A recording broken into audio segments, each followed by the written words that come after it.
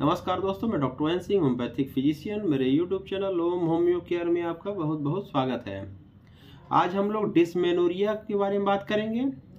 Dysmenorrhoea के लक्षणों और क्या उसका होम्योपैथी में इलाज है, उसके बारे में जानेंगे। तो आइए शुरू करते हैं। फीमेल्स में, यानी गर्ल्स, यानी लड़कियों और महिलाओं में हर महीने पीरियड्स, यानी मासिक आते हैं। और उन मासिक के दिनों में उनके पेट के निचले हिस्से में मरोड़ वाला दर्द या टपकन वाला दर्द जो है, होता है। और हल्का दर्द होना एक स्वाभाविक सी बात है। पर कभी कभी यही दर्द जो है, बहुत ज़्यादा बढ़ जाता है, जिससे उनकी दिनचर्या के कार्य जो है, प्रभावित होने लगते हैं। वो कार्य करने में असमर्थ हो जाती हैं। और इसी को ही डिसमेनोरिया कहते हैं। डिसमेनोरिया के साथ साथ कभी कभी सर दर्द मिचली आना उल्टी होना, साथ में कभी कभी दस्त होने लगता है के लक्षण भी होते हैं।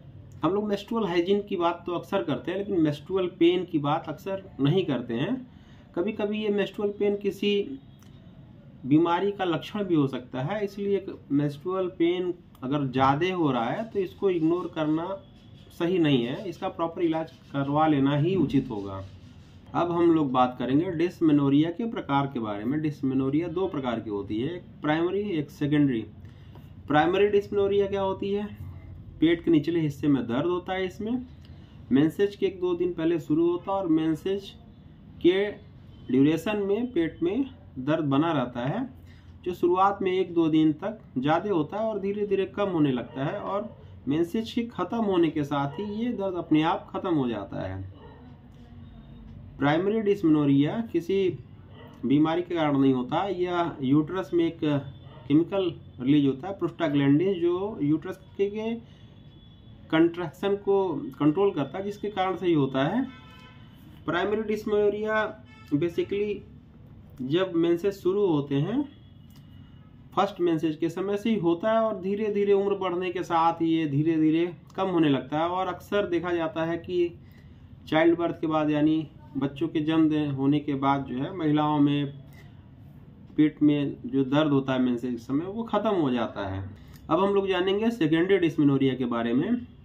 जब फीमेल रिप्रोडक्टिव ऑर्गन यानी स्त्री जननांगों में किसी बीमारी के कारण पेट के निचले हिस्से में दर्द होता है, तब उस स्थिति को सेकेंडरी डिस्मिनोरिया कहा जाता है। यह दर्द मेंसेज के समय हो सकता है और मेंसेज के बाद भी बना रह सकता है।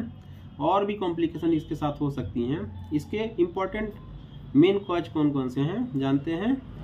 इसमें एंडोमेट्रोसिस के कारण हो सकता है यूट्रस में फाइब्राइड के कारण हो सकता है, या पेल्विक इन्फ्लेमेटरी डिज़ीज़ यानी पीआईडी के कारण हो सकता है, या सर्वाइकल स्टोनोसिस के कारण भी सेकेंडरी डिस्मिनोरिया हो सकती है। अगर आप कमेंट कर दें तो इन के बारे में भी मैं अलग से वीडियो आपको बना के दे सकता हूँ।